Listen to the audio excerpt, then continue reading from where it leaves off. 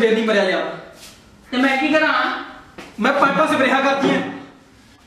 ਤੇ ਮੈਂ ਕਿਹੜਾ ਘਰੇ ਬਣਾਈ ਹੈ ਸਰਕਾਰ ਜਿਹੜੀ ਭੇਜਦੀ ਉਹੀ ਤਾਂ ਤੈਨੂੰ ਮੈਂ ਦਿੱਤੀ ਹੈ ਇੱਕ ਮੋਨੋਸਲ ਹੋਰ ਦੇ ਦੇ ਫਿਰ ਮੈਂ ਪੀ ਕੇ ਮਰ ਜਾਣਾ ਨਗਦ ਲੱਗੂ ਕੱਢ 500 ਉਹ ਖਾਤੇ 'ਚ ਲਿਖਦੀ? ਤੇਰੇ ਮਰਨ ਪਿੱਛੋਂ ਮੈਂ ਕਿਹੜੇ ਖਾਤੇ ਖੋਲੂ ਦੱਸੀ ਮੈਨੂੰ। ਗੱਲਾਂ ਕਰਦਾ ਹੈ?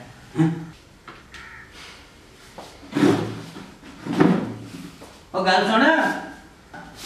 ਜੇ ਮਰਨਾ ਹੀ ਹੈ, ਨਹਿਰ 'ਚ ਛਾਲ ਮਾਰ ਕੇ ਸੌਖਾ ਮਰ ਜਾਏਗਾ 500 ਜ਼ਰੂਰੀ ਲਾਉਣਾ ਇਹਦੇ ਤੇ। ਹਾਂ, ਜੇ 500 ਹੋ ਗਿਆ, ਤਾਂ ਲੈ ਜੀ ਹਾਂ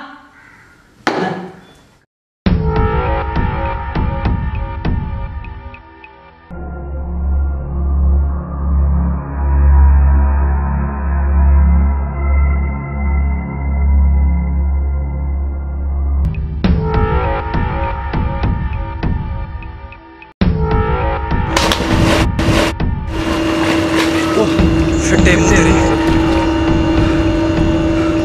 ਪਾਣੀ ਨਹੀਂ ਹੈਗਾ।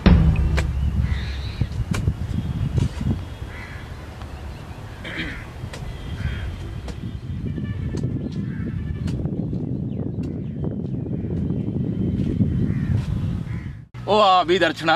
ਬਾਤ ਆ ਫਿਰ ਨਰਮਾ ਹੈ। ਕਿਉਂ ਖਪੀ ਜਾਣਾ ਟਰੈਕਟਰੀ ਬੈਕ ਕਰਾ ਲੈਂਦਾ।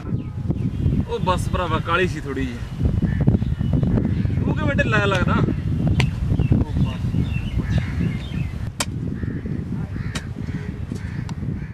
ਕੀ ਹੋਇਆ ਬੋਲਦੇ ਨਹੀਂ ਪੈਸੇ ਚਾਹੀਦੇ ਸੀ।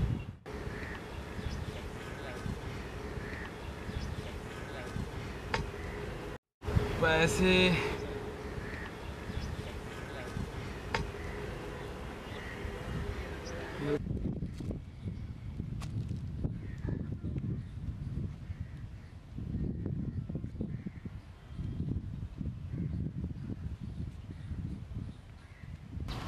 ਉਹ ਵਾਹ ਓਏ ਮਾਂ ਦੇ ਪੁੱਤਾ ਤੂੰ ਵੀ ਟਿਚਣਾ ਕਰਨੋਂ ਨਾ ਹਟੀ। ਉਹ ਗੱਲ ਤਾਂ ਸੁਣ। ਓਏ। ਯਾਰ ਕਿੰਨੇ ਕੁ ਪੈਸੇ ਚਾਹੀਦੇ? 5000 10000 ਮੇਰੀ ਗੱਲ ਸੁਣ। ਆਪਣੇ ਜਿਹੜਾ ਨਰਮੇ ਦਾ ਖਰਾਬਾ ਨਹੀਂ ਹੋਇਆ ਸੀ ਸੁਣ। ਸਰਕਾਰ ਮੁਆਵਜ਼ਾ ਦੇ ਰਹੀ ਹੈ ਸੁਣ। ਅੱਛਾ। ਤੇ ਨੰਬਰਦਾਰ ਨੂੰ ਨੰਬਰ ਦੇ ਕੇ ਆਇਆ ਸੀ ਜ਼ਮੀਨ ਦੇ। ਨੰਬਰ ਤਾਂ ਮੈਂ ਵੀ ਦਿੱਤੇ ਸੀ ਯਾਰ। ਦੋ ਕਿੱਲਿਆਂ ਦੇ। ਸੁਣ ਸੁਣ। ਤੇ ਉਹਦੇ ਪੈਸੇ ਮਿਲ ਰਹੇ ਆ ਅੱਜ ਫਿਰ? ਕਿੱਥੇ ਮਿਲ ਜਾਂਦੇ ਆ? ਆਪਣੇ ਪੰਚਾਇਤ ਘਰ। ਅੱਛਾ। ਤੇ ਹੋਰ? ਮੈਂ ਐਵੇਂ ਮਰਨ ਚੱਲਿਆ ਸੀ ਯਾਰ। ਤੂੰ ਵੀ ਐਵੇਂ ਦਿਲ ਛੋਟਾ ਕਰ ਜਾਣਾ ਯਾਰ। ਸੁਣ। ਚੱਲ ਠੀਕ ਆ ਫਿਰ ਮੈਂ ਚੱਲਦਾ। ਸੁਣ ਸੁਣ। ਚੰਗਾ।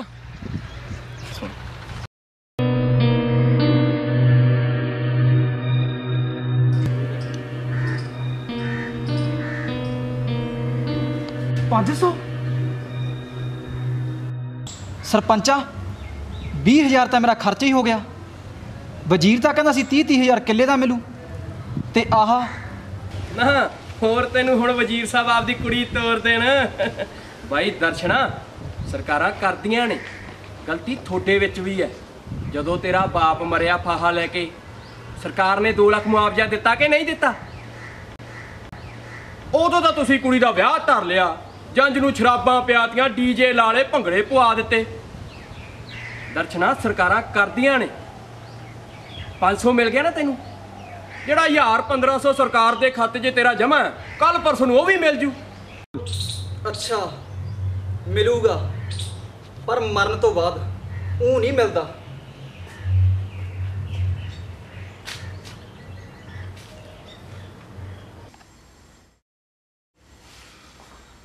ਚੱਕ ਬਾਬੂ ਮਾਸੋ ਦੇ ਮੋਨੋ ਸਰ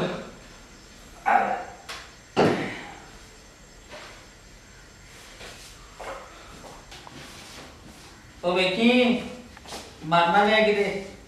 ਸੱਚੀਓ ਹੀ।